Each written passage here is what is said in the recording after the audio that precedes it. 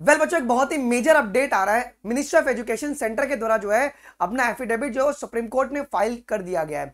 अगर आपको याद होगा तो वेकेशन बेंच ने सेंटर को यह बोला था कि आप लोग अपना एफिडेविट फ़ाइल कीजिए सारे क्वेश्चन का आप आंसर दीजिए रीनीट क्यों नहीं कंडक्ट कराना चाहिए उन सभी के बारे में भी यहाँ पे बात की गई।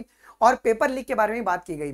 अब यहाँ पे क्या क्या बातें हुई हैं उन सभी के बारे में यहाँ पे ए का भी ट्वीट आया है, जिसके अंदर यहाँ पे तीन चीज़ों के बारे में यहाँ पे डिस्कस किया गया है। अभी तीनों मामला क्या है बड़े गौर से ना इसको आराम से सुनिएगा जी। ठीक है? सबसे पहले आप जाके इसको वेरीफाई भी कर सकते हैं एएनआई का आपका एक्स हैंडल पर। Okay NEET UG twenty four examination centre files an affidavit before the Supreme Court saying in the absence of any proof of any large scale breach of confidentiality in the examination okay, इन्होंने साफ़ साफ़ ये बोल दिया है कि बहुत large scale पे, ओके, जो ब्रिज है, वो नहीं हुआ है। ये मान रहे हैं कि मतलब कहीं ना कहीं हुआ है, लेकिन लार्ज स्केल पे नहीं हुआ है जी।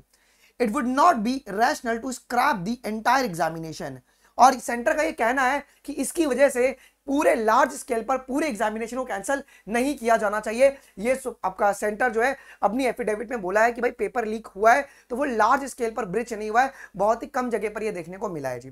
अच्छा अब फिर उन्होंने उसका रीजन बताया क्यों नहीं होना चाहिए। देखो scrapping the exams in its entirely would seriously jeopardise इसका मतलब क्या है कि अगर एग्जामिनेशन को कैंसिल करेंगे तो बहुत सारे ऐसे बच्चे हैं जिनके ऊपर एक नेगेटिव इंपैक्ट पड़ने वाला है। जी the lakhs of honest candidate लिखा गया ना यहाँ पे the lakhs of honest candidates who attempted the question paper in the 24 okay centre tells the Supreme Court कि यहाँ पे एक दो बच्चे नहीं बैठे 24 लाख बच्चे बैठे, उनके मानसिक स्थिति पर एक गलत इंपैक्ट जा सकता है। तो उसके लिए पूरा पेपर कैंसिल नहीं किया जाना चाहिए, क्योंकि पेपर लार्ज लेवल पे आपका ब्रिच नहीं हुआ है। इसके बाद सेंटर सेज सीबीआई और उन्होंने अपनी एफिडेविट में यह भी बोल दिया है centre says CBI has been asked to conduct the investigation into entire gamut of the allegation of the alleged irregularities, including the conspiracy cheating impersonation breach of trust अब देखो, इन्होंने ये भी बोल दिया सेंटर ने कि हमने एक सीबीआई की कमेटी बना दी है सीबीआई को केस पूरा हैंडओवर कर दिया है, और सीबीआई इसके ऊपर जाँच कर रही है तो इन जाँच की वजह से लाखों बच्चों का नुकसान नहीं होना चाहिए जी। ओके फिर तीसरी बात, यहाँ पे क्या क्या एफिडेविट में बोली गई है? आइए सुन लेते हैं। Okay centre its affidavit said that union of India is committed toward the conduct of all competitive examination in a fair and the transparent manner साफ़ साफ़ कह रहे कि सरकार चाहती है कि सारे एग्जामिनेशन जो एकदम फेयर कंडक्ट हो विदाउट एनी पेपर लीक और ट्रांसपेरेंसी से पेपर को कंडक्ट करवाया जाए। फिर उन्होंने ये स्टेटमेंट अपनी एफिडेविट के अंदर रखा हुआ है। क्या क्या कि the Indian of union of India duly appreciate the confidentiality of the question paper in is the utmost priority in any examination मतलब जो क्वेश्चन पेपर होता है, वो बहुत ही इंपॉर्टेंट है, किसी भी एग्जामिनेशन के बारे में अगर हम बात करेंगे। And that if due that if due of some criminal criminality at the behest of the some criminal elements, the confidentiality has been breached. अब देखो, कुछ क्रिमिनल एक्टिविटी की वजह से ओके यहाँ पे जो कॉन्फिडेंशियलिटी है, उसको ब्रिज किया गया है। ये गवर्नमेंट ऑफ़ इंडिया मान रही है। मतलब जो आपका सेंटर है, वो उसको एक्सेप्ट कर रही है कि यहाँ पेपर ब्रिज हुआ है जी। The union of India submit that the said person must be dealt sternly and with the full force of law to ensure that they are punished देखो तो यहाँ पे तीन चार मेजर बातें हुई। क्या सेंटर ने तो पहले एक्सेप्ट कर लिया कि पेपर ब्रिज हुआ है, लेकिन लार्ज स्केल पर पेपर ब्रिज नहीं हुआ है। इसके लिए सारे बच्चों का कंडक्शन नहीं कराना चाहिए। एग्जामिनेशन स्क्रैप मत कीजिए जी। हाँ हुई है पेपर लीक हुई है, लेकिन ये आपकी स्मॉल स्केल पर हुई है। तो ये आपका एफिडेविट जो है सेंटर की तरफ़ से सुप्रीम कोर्ट में फ़ाइल किया गया है। अब यार, इसके बाद क्या होगा? मैं तुमको ना पूरी कहानी बता देता हूँ जी। ओके अब ये फ़ाइल हो चुका है। ओके जजेस गो थ्रू करेंगे और इसके ऊपर अब आपके पास क्या होगा जी? आगे की सुनवाई होगी। और अगर आपको याद होगा तो आगे की जो सुनवाई है, वो एट जुलाई को आपकी आगे की सुनवाई होगी जी।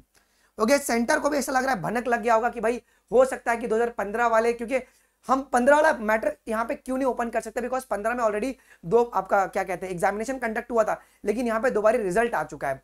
तो रीनिट के चांसेस थोड़े बहुत तो कम है बट यहाँ पे सेंटर भी नहीं चाहते कि रीनिट कंडक्ट कराया जाए। कि ज़्यादा बच्चों का मेंटल आपका इंपैक्ट पड़े, जी। अब आठ जुलाई को जो सुप्रीम कोर्ट है, सुप्रीम कोर्ट है, इसके ऊपर अपना फैसला जो होगा, फैसला सुनाएगा, या तो वो कुछ आपके पास इंक्वायरी के लिए आगे फर्दर देगा, या तो आपको वो डेट दे देंगे, जी।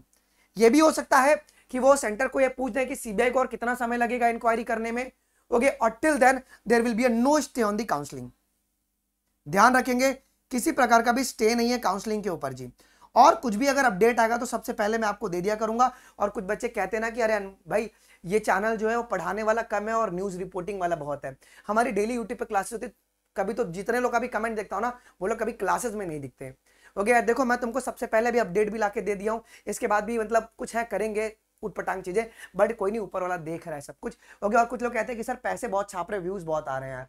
ओके अन अकेडमी की सारी चैनल जो ना, वो नॉन मोनेटाइजेबल होती है। यूजुअली ये चैनल तो आपके पास मोनेटाइज को हम लोग इसको इनेबल नहीं रखते हैं।